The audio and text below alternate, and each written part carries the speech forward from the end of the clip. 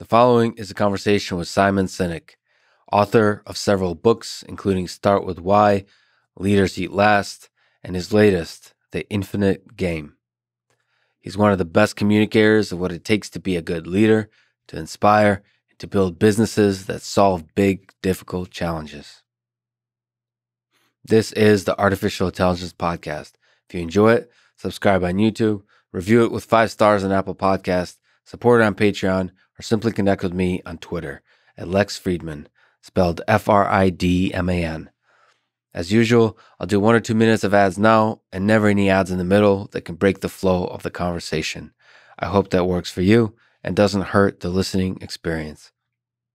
Quick summary of the ads two sponsors Cash App and Masterclass. Please consider supporting the podcast by downloading Cash App and using code LEX podcast and signing up to Masterclass at masterclass.com slash Lex. This show is presented by Cash App, the number one finance app in the App Store. When you get it, use code LEX podcast. Cash App lets you send money to friends, buy Bitcoin, and invest in the stock market with as little as $1. Since Cash App allows you to buy Bitcoin, let me mention that cryptocurrency in the context of the history of money is fascinating. I recommend Ascent of Money as a great book on this history. Debits and credits on ledgers started around 30,000 years ago. The US dollar created over 200 years ago, and Bitcoin, the first decentralized cryptocurrency, released just over 10 years ago. So, given that history, cryptocurrency is still very much in its early days of development, but is still aiming to and just might redefine the nature of money. So, again, if you get Cash App from the App Store or Google Play and use the code LEX podcast, you get $10, and Cash App will also donate $10 to FIRST, an organization that is helping to advance robotics and STEM education for young people around the world. This show is sponsored by Masterclass Sign up at masterclass.com slash Lex to get a discount and to support this podcast. When I first heard about Masterclass, I honestly thought it was too good to be true.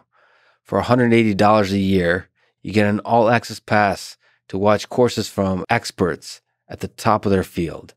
To list some of my favorites, Chris Hadfield on space exploration, Neil deGrasse Tyson on scientific thinking and communication, Will Wright the creator of Sim City and Sims on game design. I love that game.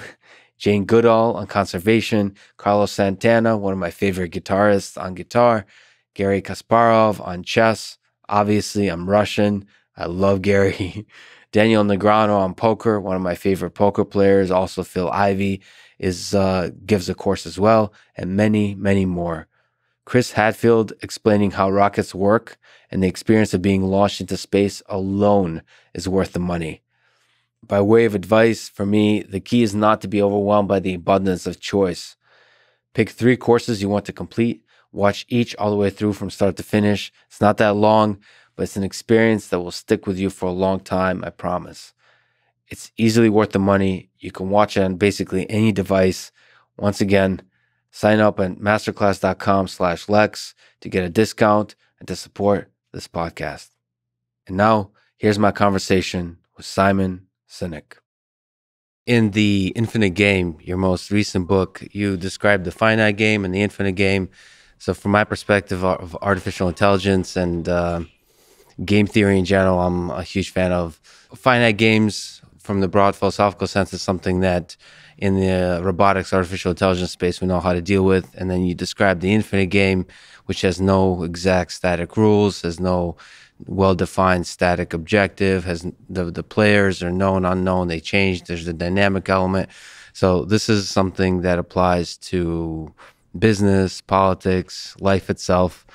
So can you try to articulate the objective function here of the infinite game, or in the in the cliche, broad philosophical sense, what is the meaning of life?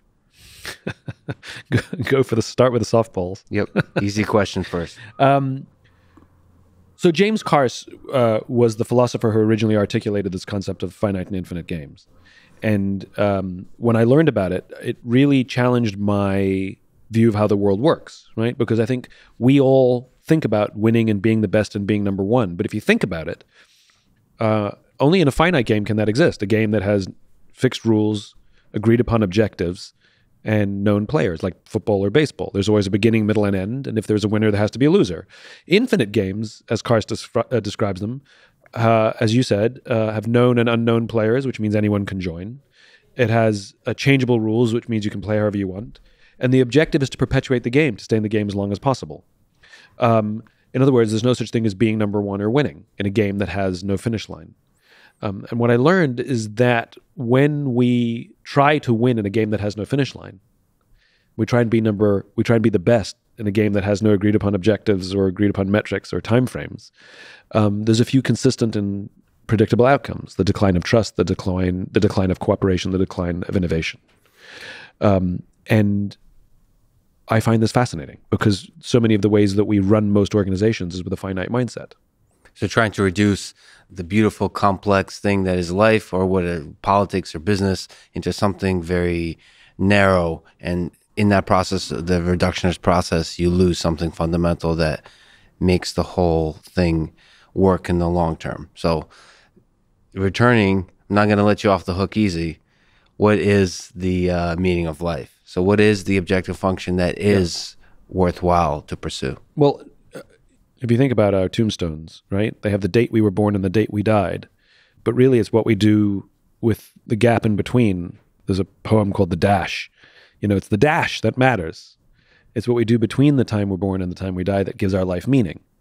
And if we live our lives with a finite mindset, which means to accumulate more power or money than anybody else, to outdo everyone else, to be number one, to be the best, we don't take any of us with us. We don't take any of it with us. We just die. Um, the people who get remembered, uh, the way we want to be remembered is how what kind of people we were, right? Devoted mother, loving father, what kind of person we were to other people. Jack Welch just died recently, and the Washington Post, when it when it wrote the headline for his for his obit, um, it wrote he pleased Wall Street and distressed employees, and that's his legacy. A, a finite player who is obsessed with winning. Yes. Who leaves behind a legacy of short term gains for a few and distress for many. That's his legacy. And every single one of us gets the choice of the kind of legacy we want to have. Um, do we want to be remembered for our contributions or our, dis- or our detractions? To live with a finite mindset, to, to live a career with a finite mindset, to be number one, be the best, be the most famous, uh, you, you live a life like Jack Welch, you know? um, to live a life of service, to to see those around us rise, to contribute to our communities, to our organizations, to leave them in better shape than we found them. That's that's the kind of legacy most of us would like to have. So day to day, when you think about what is the the, the fundamental goals, dreams, motivations of an infinite game of, of, of seeing your life your career as an infinite game. What does that What does that look like? I mean, I guess I'm sort of uh, trying to stick on this personal ego, personal yeah. drive, the thing that yeah. the fire, the reason we want to wake up in the morning, and yeah. the reason we can't go to bed because we're so excited. Yeah, what is that? So for me, it's about having a just cause. It's about a vision that's bigger than me. Um, that my work gets to contribute to something larger than myself. You know, that's what drives me every day. Uh, I wake up every morning with a with a vision of a world that does not yet exist, a world in which the vast majority of people wake up every single morning inspired, feel safe at work, and return home fulfilled at the end of the day. It is not the world we live in, and so that we still have work to do is the thing that drives me. You know, I know what I know what my underlying values are. You know, I, I wake up to inspire people to do the things that inspire them, and these are the things that these are the things that I these are my go tos, my touch points. Um, that inspire me to to keep working. You know, I, I, think of a career like an iceberg. You know, if you have a vision for something, uh, you, are the only one who can see the iceberg underneath the ocean. Uh, but if you start working at it, a little bit shows up, and now a few other people can see what you imagine. Be like, oh, right, yeah, no, I want to help build that as well. And if you have a lot of success, then you have a lot of iceberg, and people can see this huge iceberg, and they say you've accomplished so much, but but what I see is all the work still yet to be done. Yet I still see the huge iceberg underneath the ocean. And so the growth, you talk about momentum. So the incremental revealing of the iceberg is what drives you. well, it necessarily is incremental. What drives me is that is the realization or is is realizing the iceberg, bringing more of the iceberg from the unknown to the known, bringing more of the vision from the imagination to reality. And you have this fundamental vision of optimism. You call mm. yourself an optimist. Uh, I mean, in this world, I have a sort of I see myself a, a little bit as the main character from The Idiot by Dostoevsky, who's also kind of seen by society as a fool because he was optimistic. Mm. Uh, so, one, can you maybe articulate where that sense of optimism comes from, and maybe also try to articulate your vision of the future where people are inspired, where optimism drives us? Yeah. It's it's easy to forget that when you look at social media and so on, with the word toxicity and negativity can often get more likes. Yeah. That optimism has a sort of a beauty to it, and I, I do hope it's out there. So, what can you try to articulate that yeah, vision? Yeah. So, I mean, for me, optimism and being an optimist is is just seeing the silver lining in every cloud. You know, even in tragedy, it brings people together. And the question is, can we see that? Can you see? Can you see the beauty that is in everything? Uh, I, I, don't think optimism is foolishness. Um, I don't think optimism is blindness um, though it probably involves some naivete, um, the belief that things will get better, uh, the belief that that we tend towards the good, um, even in times of struggle or bad. Um, you know, you can't sustain war, but you can sustain peace. You know, I think I think things that are are stable are more sustainable. Things that are are optimistic are more sustainable than things that are, you know, chaotic. Um, so you see people as fundamentally good. I mean, uh, some people may disagree that you can't sus- you can sustain peace, you can't sustain war. I mean, you don't have to. You, I think war is costly. You know, it involves life and money, uh, and peace does not involve those things. It requires work. I'm not saying it doesn't require work, but it it doesn't drain resources. I think the same way that war does you know, the the people that would say that we will always have war, and I just talked to the historian of Stalin, is you know would say that conflict and the desire for power and conflict is is central to human nature. I, so I, some, I concur. but something in your words also, perhaps it's the naive aspect that I also share, is yeah. that you have an optimism that people are fundamentally good. And I'm, I, am an idealist, you know, I, and I think idealism is good. I'm not. I'm not a fool to believe that the ideals that I imagine can come true. Of course, there'll never be world peace, but shouldn't we die trying.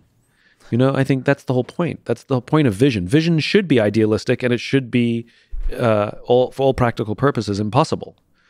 Um, but that doesn't mean we shouldn't try. And it's the it's the milestones that we we we reach that take us closer to that ideal, that make us feel that our life and our work have meaning, and we're contributing to something bigger than ourselves.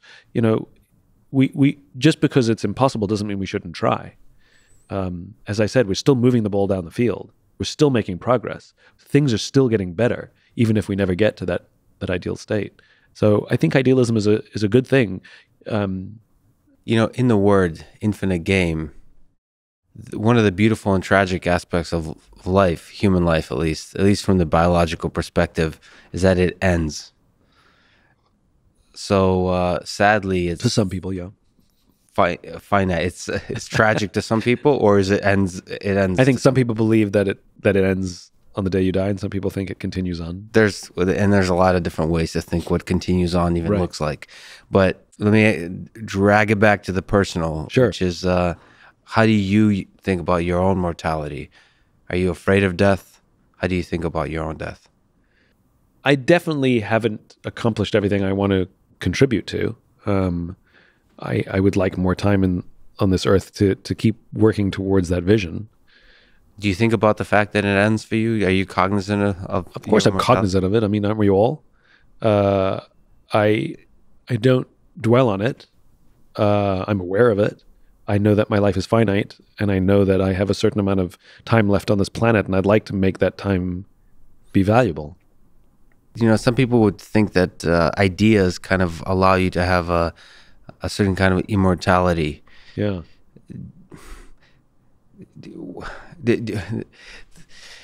Maybe to linger on this kind of question. So f- first, to push back on the, you said that everyone's cognizant of the mortality. There's a guy named Ernest Becker who would disagree.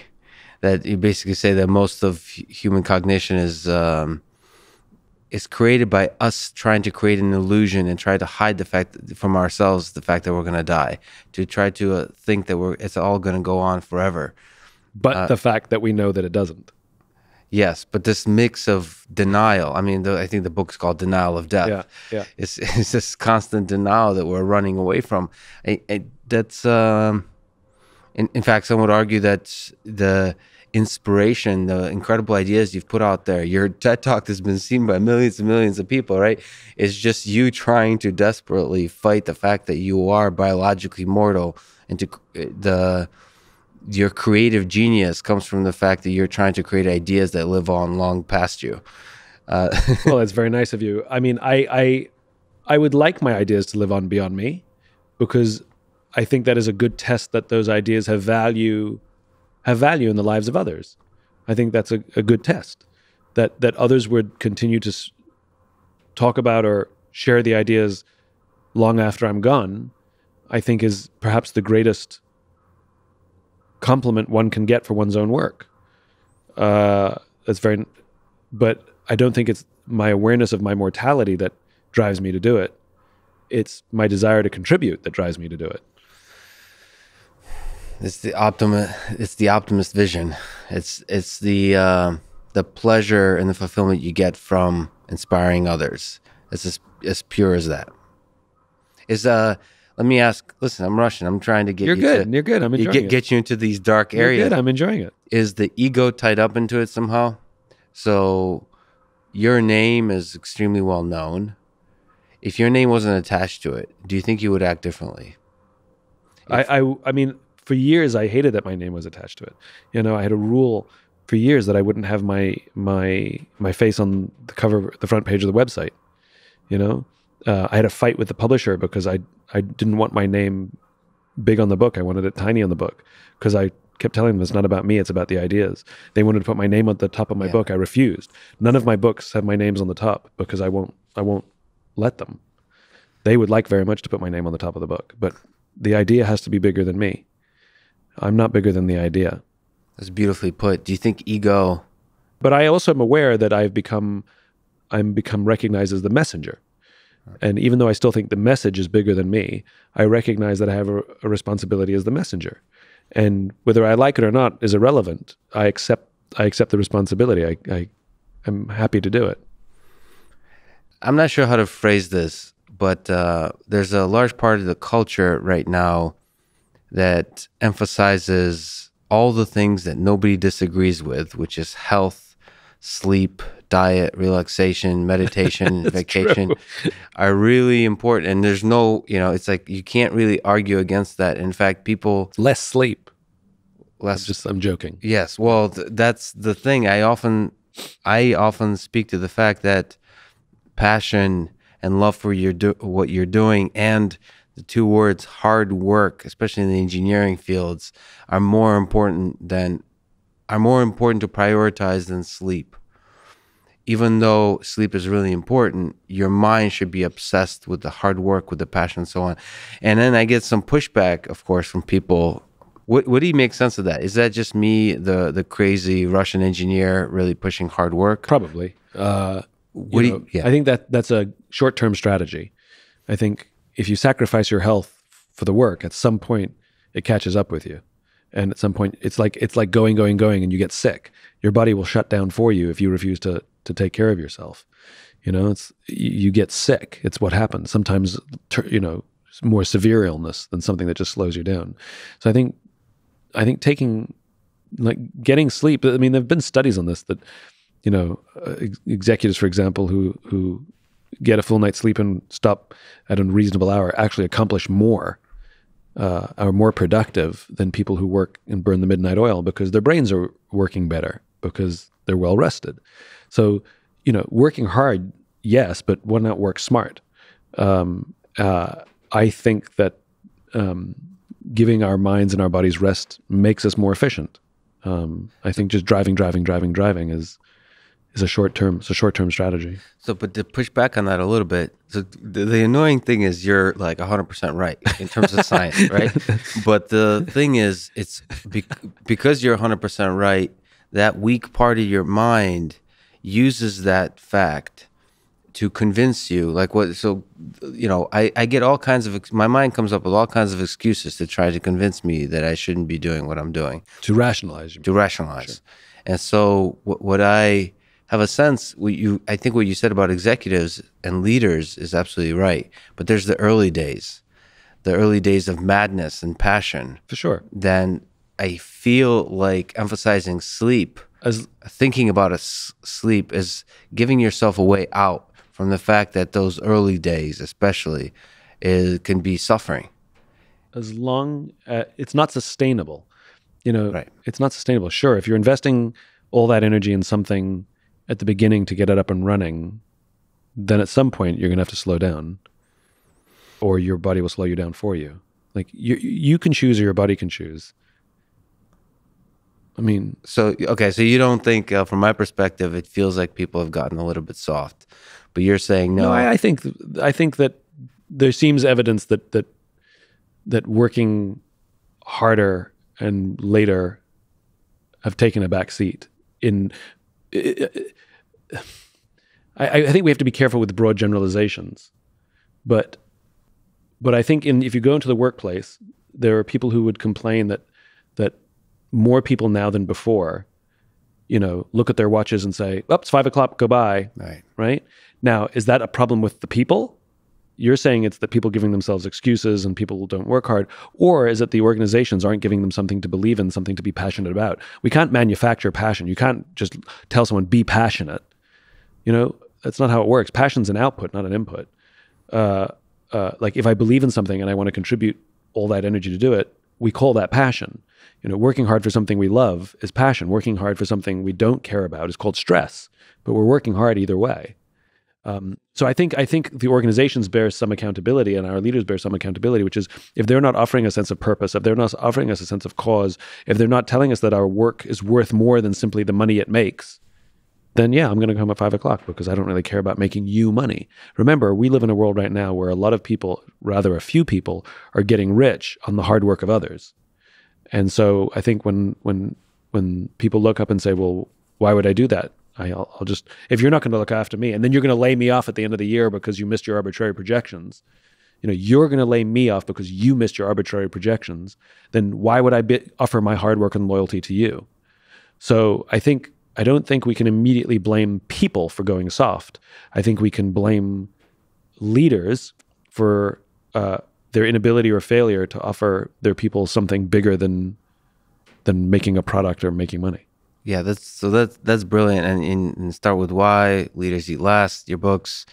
You, you kind of you, you basically talk about what it what it takes to be a good leader and so some of the blame should go on the leader but how much of it is on finding your passion? How much is it on the individual? And uh, allowing yourself to pursue that passion pushing yourself to your limits to uh, to really uh, take concrete steps along your path to, to towards that passion Yeah, there's mutual responsibility. There's mutual accountability. I mean, we we're responsible as individuals to find the organizations and find the leaders that inspire us, and organizations are responsible for maintaining that flame and and giving people who believe what they believed, you know, a chance to contribute. So, sort of to linger on it, have you by chance seen the movie Whiplash? Yes. Again, maybe I'm romanticizing suffering. Again, It's the Russian in you. it's the Russian. Yeah. The Russians love suffering. But so for people who haven't seen, uh, it's uh, the movie Whiplash as a drum instructor that pushes the drum uh, musician to uh, to his limits to, to bring out the best in him. And there's a toxic nature to it. There's suffering in it. Like you've you've worked with a lot of great leaders, a lot of great individuals. So what uh, is that toxic relationship as toxic as it appears in the movie, or is that fundamental? I've seen that relationship, especially in the past, with Olympic athletes, with especially in athletics, extreme performers, seem to do wonders. It does wonders for me. There's some of them are my best relationships now I'm not representative of everyone certainly, but some of my best relationships for mentee and mentor have been toxic from an external perspective. Mm-hmm. Uh, what do you make of that movie? What do you make of that kind of relationship? That's not my favorite movie. uh, Okay, so you don't think that's a healthy? You don't think that kind of relationship is a, a great example of uh, a great I think leader? it's a short-term strategy. I mean, short term. I mean, look, being hard on someone is not the same as toxicity. You know, uh, you know, if you go to the Marine Corps, uh, a drill instructor will be very hard on on their Marines, and then, but still, even on the last day of of boot camp, they'll take their hat off and they'll become a human. But the the the of all the drill instructors, uh, you know, the the the, fir- the the three or four main drill instructors assigned to a group of recruits, the one that they all want the respect of is the one that's the hardest on them. That's that's true. Um, and you hear, you know, there's plenty of stories of people who want to earn the respect of a of a hard parent or a hard teacher. Um, but fundamental, that parent, that teacher, that drill instructor has to believe in that person, has to see potential in them. It's not a, it's not a formula, which is if I'm hard on people, they'll do well. Which is there has to still be love. It has to be done with absolute love, and it has to be done with it has to be done responsibly. I mean, some people can take a little more pressure than others, um, but it's not. I don't. I think it's irresponsible to think of it as a formula that that if I'm just toxic at people, they will they will do well. Um, it depends on their personalities. First of all, that works for some, but not all. And and second of all, it it can't be done willy nilly. It has to still be done with with care and love. And uh, uh, and sometimes um, you can get equal or better results without all of the, the toxicity. So So one of the, I guess, uh, toxicity on my part was a really bad word to use. But if we talk about what makes a good leader, and just look at an example in particular, uh, looking at Elon Musk, he's known to put push people to the limits mm.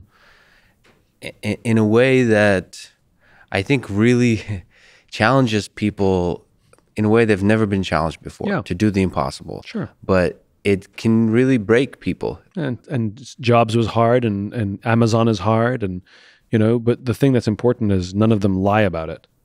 You know, the you know people ask me about Amazon all the time. Like Jeff Bezos never lied about it. You know, even the ones who like Amazon don't last more than a couple of years before they burn out.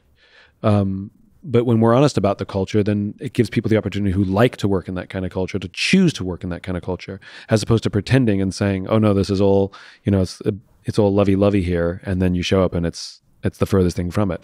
So, I mean, I, you know, I think the the reputations of putting a lot of pressure on people to, you know, Jobs Jobs was not a an easy man to work for.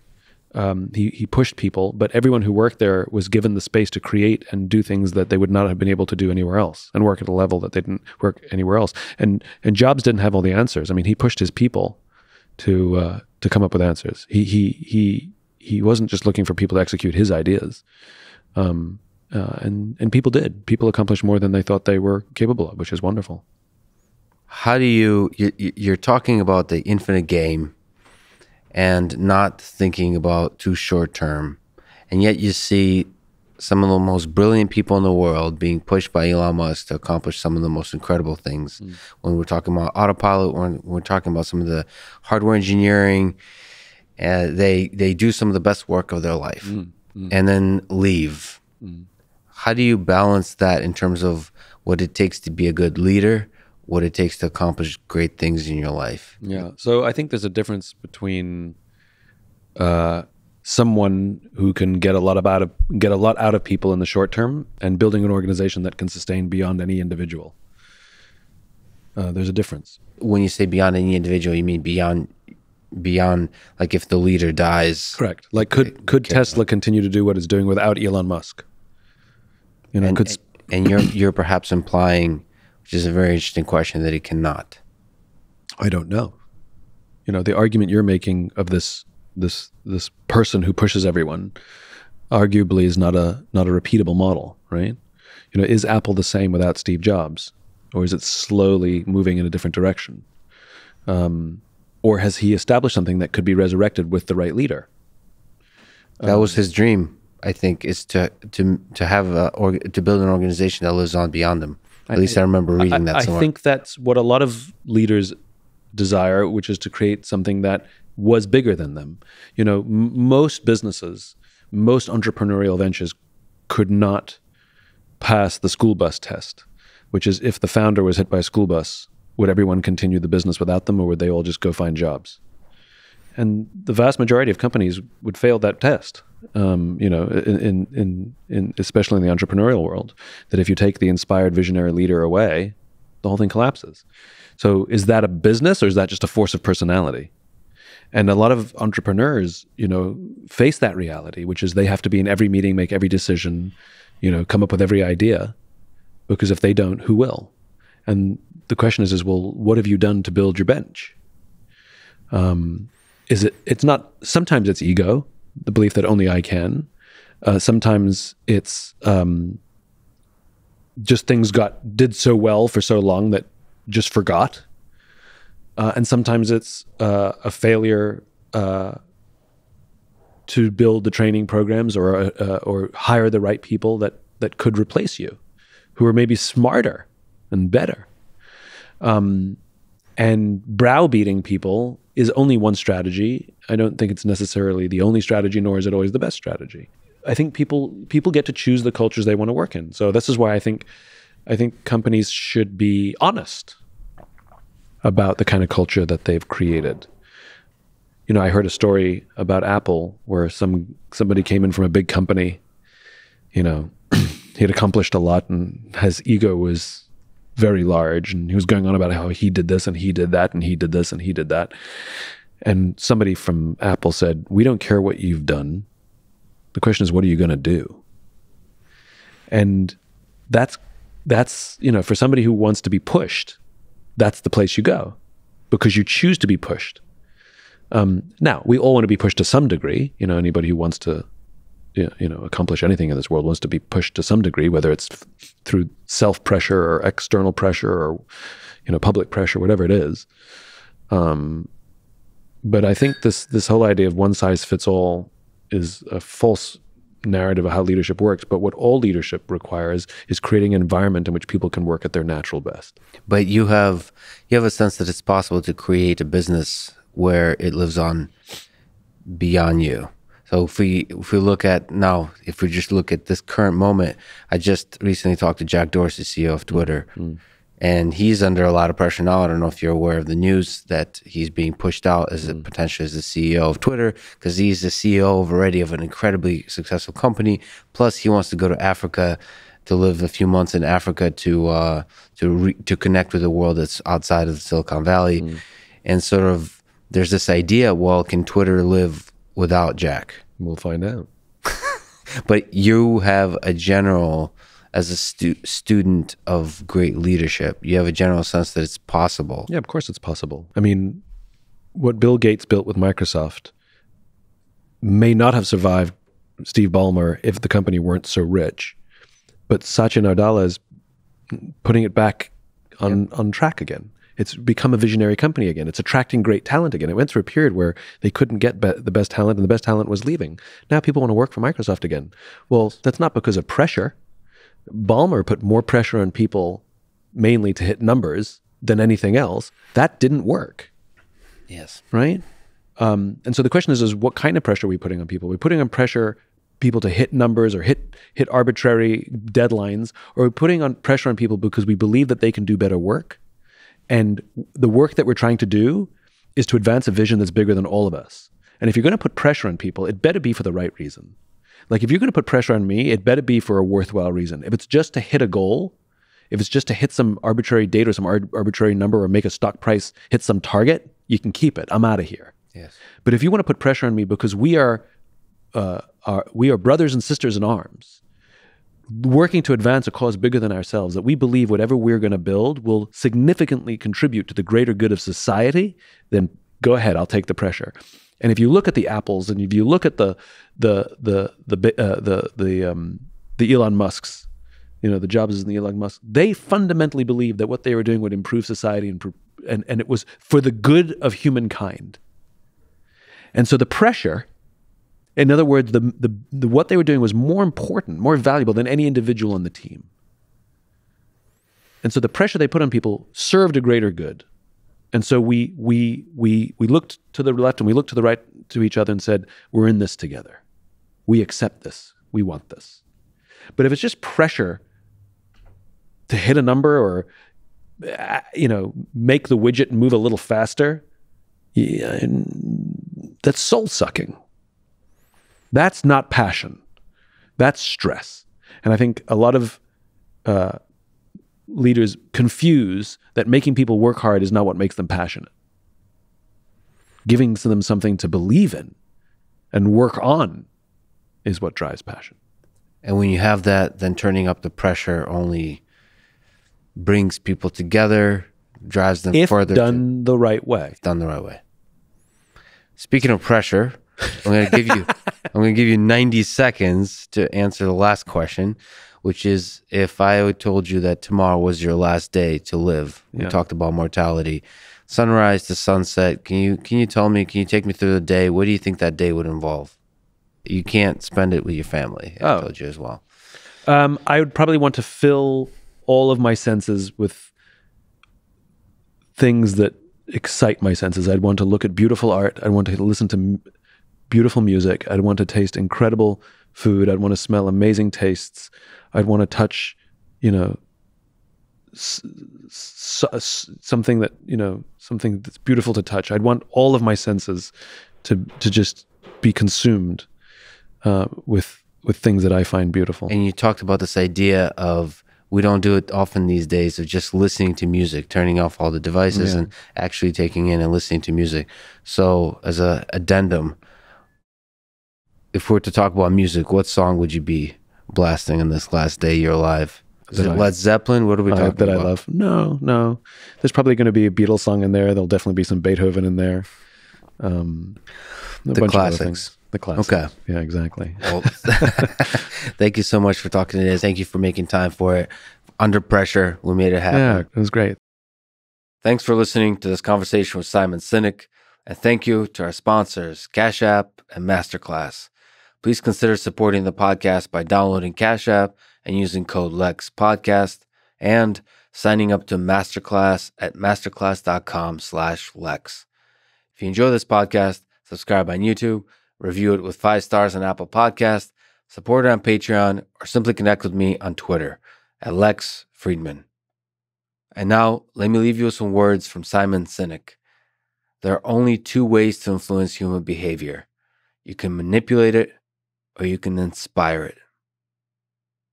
Thank you for listening, and hope to see you next time.